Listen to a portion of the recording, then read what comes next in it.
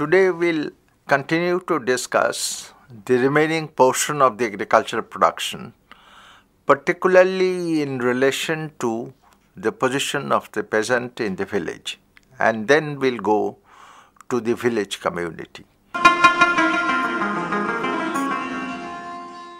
The peasant in medieval India had a large number of cattle. Manrique, the 17th century traveler, had found in the densely populated area of Bengal large number of cows grazing in the field. Chaitanya in his days had seen on the edge of the village hundreds of cows grazing in the field. Abul Fazal stated that there was a tax on the domestic animal, but he exempted, according to the government order, two cows, four bullocks, and one buffalo from the tax. In Bengal, however, we do not find any reference to tax, but it seems that it was prevalent in northern India. As a result of this large number of cattle, milk and milk products were quite cheap. And as it has been stated earlier, the ordinary people used to have rice and ghee at least once a day. With these few words, we come to the proprietorship of the land. The 16th century European travelers stated, followed by a large number of European travelers in the 17th and 18th century, that king is the owner of all land. This was more or less explained very clearly by Francois Bernier, the mid 17th century French traveler, who linked it with Oriental despotism. But Abul Fazal does not give any such idea. According to Abul Fazal, who wrote in uh, 1596 that there is a contract between the king and the peasant. So long the king protects the peasant, or in other words keeps law and order, the peasant will pay revenue. If the peasant does not pay revenue, then he is liable to be dislodged. But by 1730, it appears that another opinion has already come in. Qazi Muhammad Allah stated that king is the owner of all land. Whether that opinion was already there or whether that opinion came during the, that time, it is difficult to say. But the fact remains that they normally the peasants are not dislodged for a very simple reason that the revenue would fall because the land was available in plenty and labor was not so much available. Therefore, it is a limitation on the oppression of the authorities. And the authorities try to see that the peasants uh, do not move out from one place to another. There, there are references of peasants moving out to other places, and there are references also that these peasants were ordered to bring back to their native villages. If the peasant does not cultivate the land, then the land can be leased out to an outsider or to some other person in the village. But then, if the peasant comes back and wants to till the land, the land has to be given to him.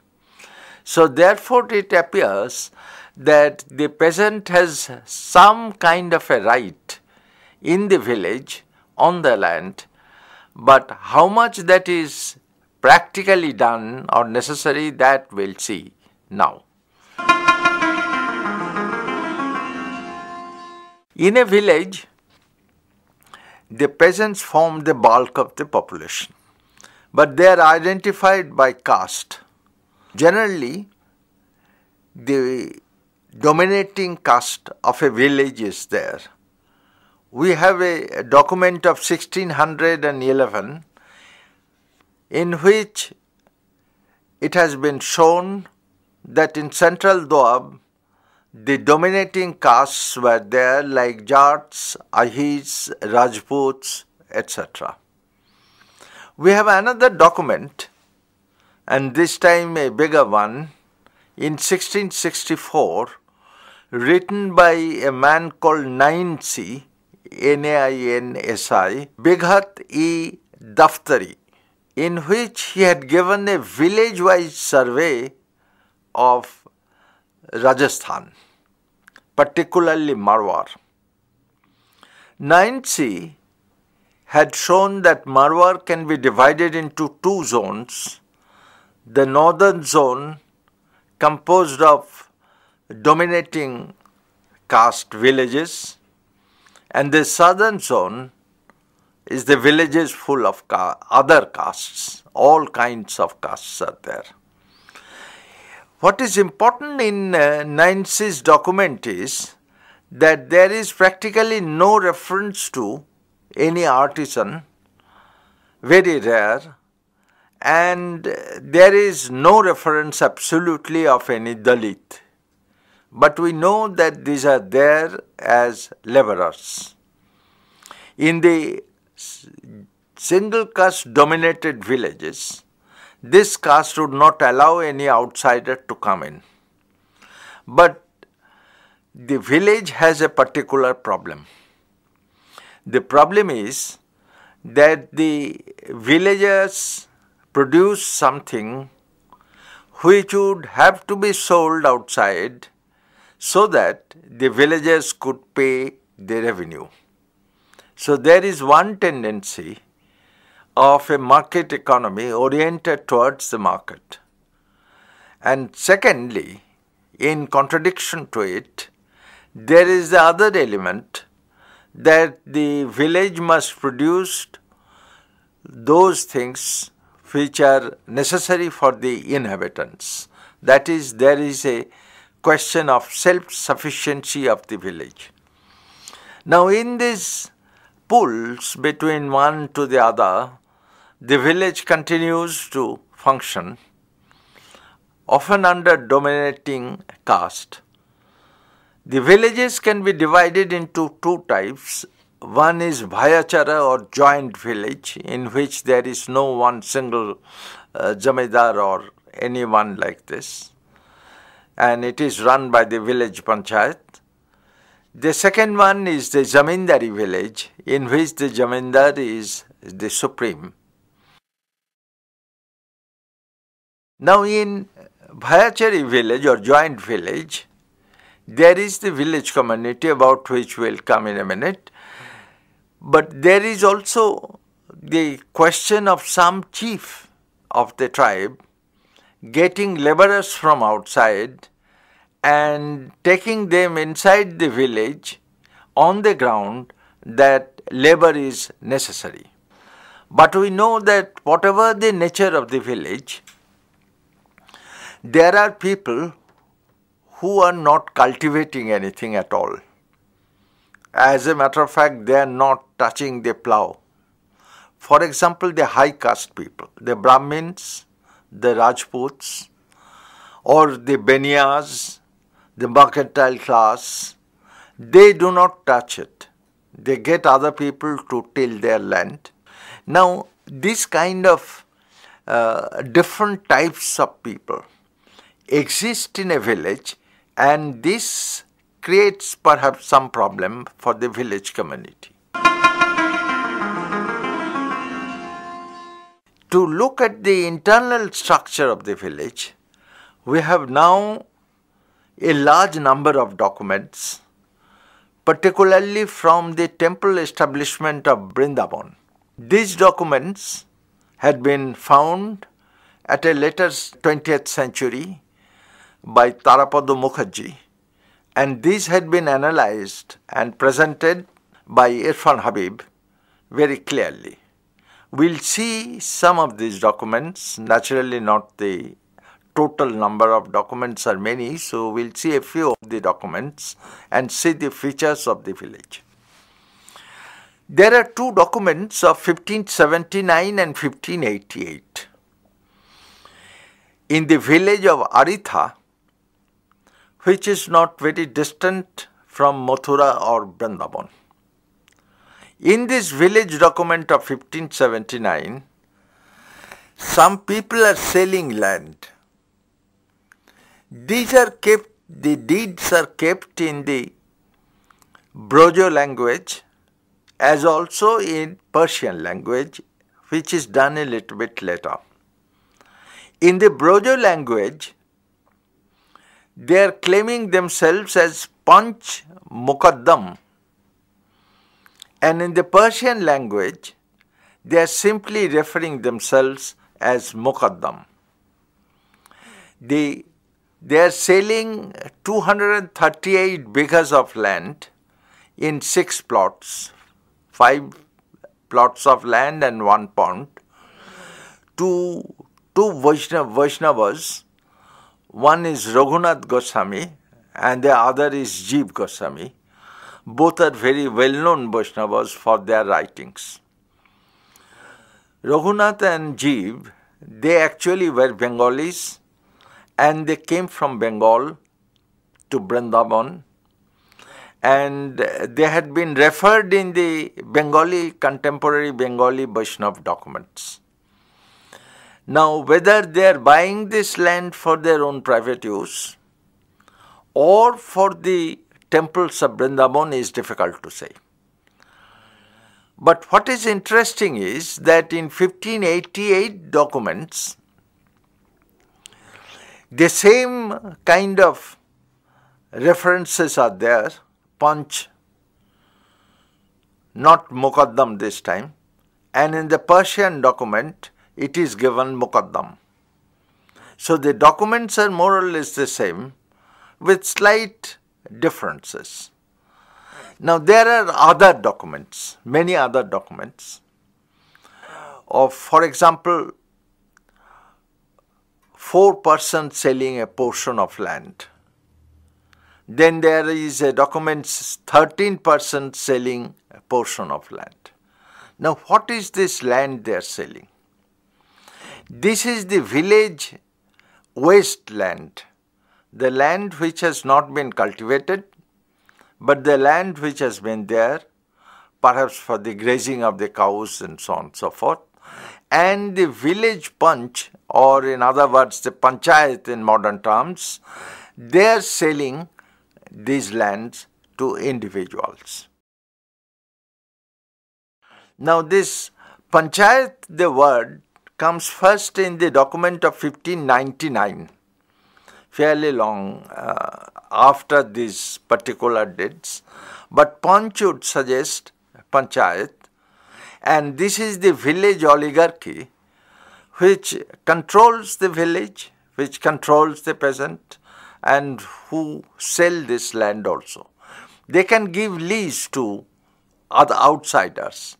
For example, there is a document where the Panch had given four bighas of land to a Boiragi, even lent him some money also for constructing a structure. And it is stated in the deed that even if the Panch wants to have this land again back, the consent of the Bairagi is necessary. That such kind of clause is there has been confirmed by the Muqaddam of the area in 1641, much later, and uh, the Bairagi continues and his successors continue to be there for a fairly long time. So therefore the Panch or the Panchayat, they control the village wasteland. And there we can see what is the extent of the authority of the, of the panchayat. The panchayat can only sell or give lease to the village wasteland. They have no right on the individual land of the peasant cultivated by them. As a matter of fact, there are records when uh, the peasants, two peasants, sold their lands to outsiders without any reference to the panchayat. So, therefore, the panchayat has certainly an authority, some kind of control, but there are also limitations. The panchayat can give lease, as had been stated in case of the Bairagi.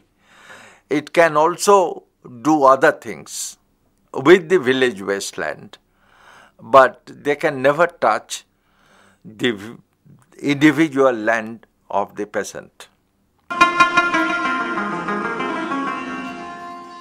Now the question comes that what happens to the money that comes in?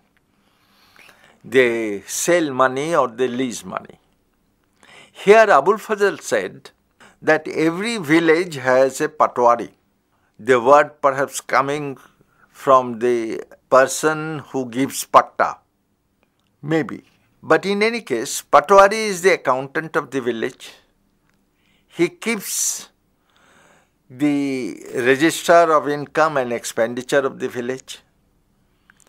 But this document, this register, which has not been found, except in some samples, which I'll tell you now, this register is not an official document in the sense that Mughal administration does not rely on such a document although the Mughal officials audit this income and expenditure. Here is the peculiar role of the state. The state acknowledges the patwari and acknowledges his function, the keeping of income and expenditure, audits his book, Bahi, Kagaz ka Bahi, but does not accept the income and expenditure as stated by him. So there is a ambiguous role of the state so far as the village community is concerned and we'll see more. In the time of Aurangzeb, we have certain manuals, actually three manuals of revenue which had been found. These revenue manuals give the idea of the income and expenditure of the village. Now, from this, one can see that the principal income of the village community comes from the share given by the peasant to the village community. Every peasant or a person has to give a certain share which forms the financial pool of the village community itself. The amount of share depends on the size of the family of the peasant as also the size of the land that he holds which is not uni uniform. And with this money that is there, the village community can lend money, for example, to Boiragi as they had done, or even buy seeds, even give loan to the peasants. So various things can be done on this. Now, the principal expenditure of the village community often comes in the loan given to the peasants, but in certain cases, to pay the revenue, the village community has to take the loan from the Mahajan. And in one case, it has been seen that three fourths of the revenue has been paid by the Mahajan as loan and the village community is repaying him not at one time but in installments. So there is a large amount that goes in this. The other expenditure was that the from this financial pool, the village officials get some money. For example, the carpenter or the leather worker or others who do the village work of the village. For example, making a dam to a nala, repairing the pots of the Persian wheel, repairing the Persian wheel itself. All these, these people had to be paid. So it is not a free or begari, as one says, but an exchange, exchange of services with the money, but sometimes with land.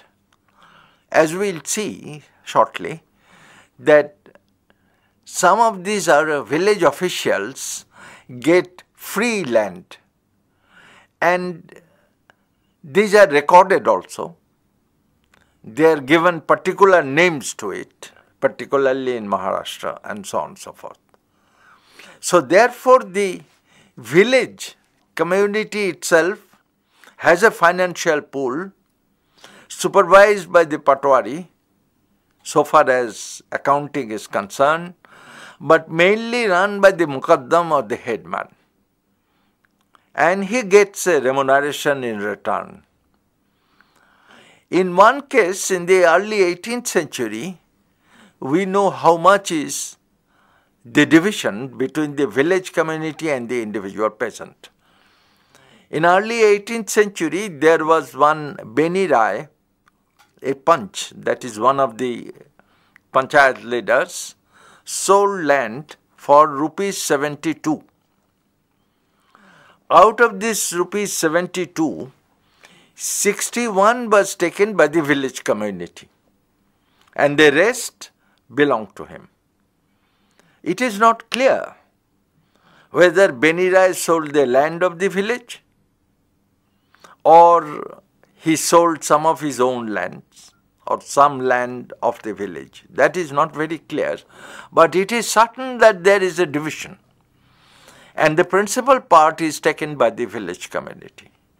So, therefore, there is a right of the peasant, there is a limitation of the right of the peasant, there is the right of the village community, and there is a limitation of the right of the village community also. The village communities in the Mughal period has been very ably described by Father Montserrat, a Jesuit priest, who was describing the village community in Salsette, that is in Goa island. He said that there were 66 villages. Out of these 66 villages, 12 villages constitute the village community, the panchayat. From each 12 villages, two persons are given to the panchayat. And these two persons, they constitute of the of the 12, that is 24 persons, constitute the village community and they decide everything for 66 villages there is a writer in that, he who writes and so on. They distribute the revenue among the villages. The village then distributes it among the peasants. And if there is no harvest, even then the revenue has to be paid, which is different from the Mughal system. Now, in case of the payment of revenue in the absence of harvest, the other village communities come forward and they pay, pay it obviously as a matter of loan. Now, this is what is the village oligarchy. Now, the village oligarchy itself, it appears from the Vrindavan records. Some of the families had been traced in genealogical order that the post is hereditary. It is of course one person of a family who is a panch, that is, who is a member of the panchayat. But it is recorded also that in case this one man gets the perquisites or privileges of the panch, he must share it with the other brothers. Now, in case of the composition, often there are Muslims in it. Actually, in a village community of 14, it has been seen that there were three Muslims. In certain cases, the Mukaddam was a Muslim. There is one Bari Khan who was a Muqaddam and who was known. So, therefore, the composition of the village community is certainly hereditary, but it is of one family and it consists of both Hindus and the Muslim peasants, not necessarily only Hindus or only Muslims. Now, in case of this uh, village community, the principal problem was the share of the revenue to be distributed to the peasant. Now, Aurangzeb has a farman in 1666 to Rashik Das Karori in Gujarat, in which he says that the revenue official must find out the holding of the land of the peasant how much revenue has been asked to pay and how much he is paying. Whether that was actually done is difficult to say. But it seems that the village community distributes the revenue among its panchayat members and the government likes to have a look at it although whether they did so in all villages is difficult to say and almost impossible. But in certain cases they must have seen some of these documents from the patwadis and actual enquiries. So therefore the village community has certain rights and has certain limitations of the rights, but the peasant also has its right the village community once again cannot touch the individual holding of the peasant, but they can always always give pressure to the peasants